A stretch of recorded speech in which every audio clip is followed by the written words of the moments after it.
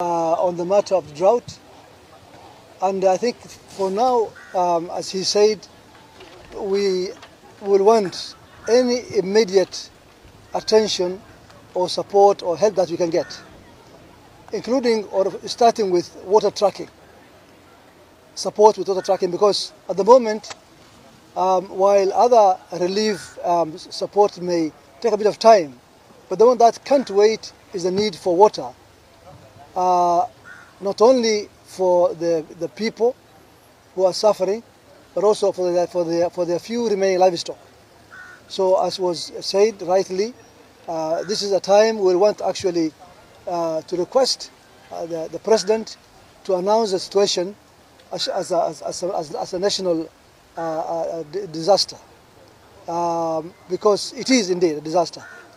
As, as was said rightly, this is probably, without doubt, the third consecutive rain season that has failed, and we are facing a very, very severe situation.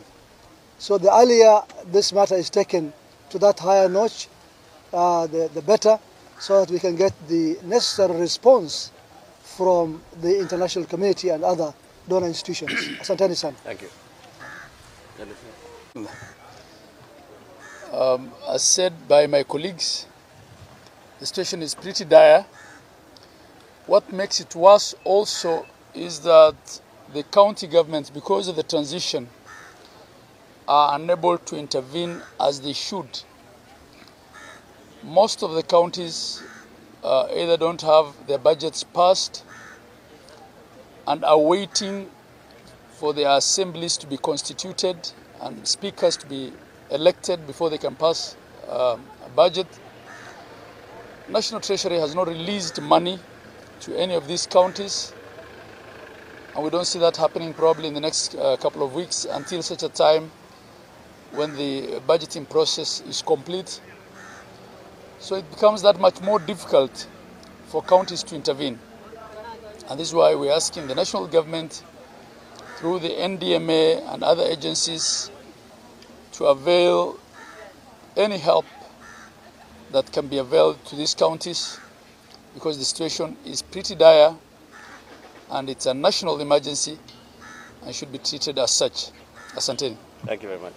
Governor, you have something? county steering groups, uh, which is co-chaired by the governor and the county commissioner, especially Mandera. Um, my appeal is that all those NGOs who are supporting should at least liaison with the county steering group so that we plan and avoid duplication. Uh, finally, I want to thank His Excellency the President for at least alluding to the problem in his inauguration speech that there is a problem. But we want him to give further direction so that interventions can be uh, done timely before we slip to crisis. Thank you. Mm.